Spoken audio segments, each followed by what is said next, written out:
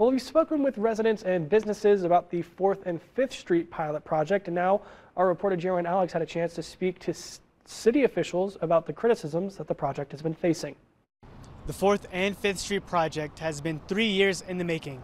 City officials actively sought and worked with the community to implement changes. You can post a speed limit, but that doesn't necessarily mean anybody's going to follow it. Changing the look and feel of 4th and 5th Street has been controversial. You may have seen posts on community boards expressing how dangerous the recent changes are.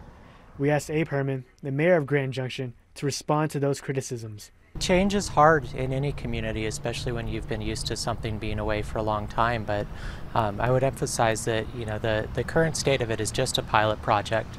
The plastic poles are temporary. One point Mayor Herman stressed was reducing speed.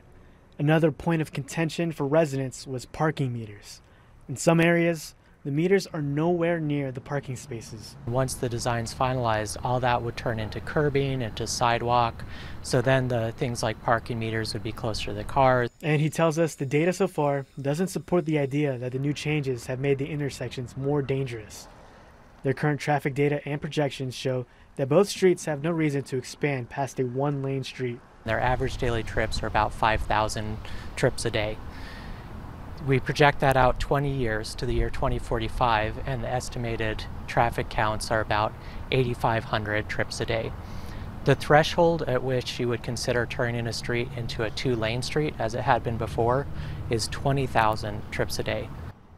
Both 4th and 5th Street have been through numerous changes and will continue to do so as the city receives feedback on the project. In Grand Junction, I'm Jaron Alex reporting. And the City of Grand Junction is actively looking for your feedback on the 4th and 5th Street pilot project. They value your concerns and your input, and to make your voice heard, you can visit engagegj.org.